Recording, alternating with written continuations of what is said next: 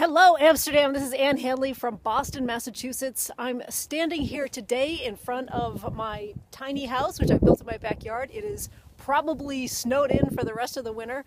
Um, we had about, uh, I don't know, 2,000 feet fall here in Boston, something like that.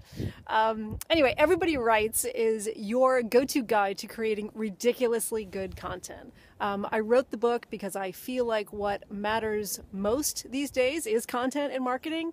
But what we aren't really talking about is how to write, right? How to write better, how to tell stories that are really going to connect with the people that you want to talk to.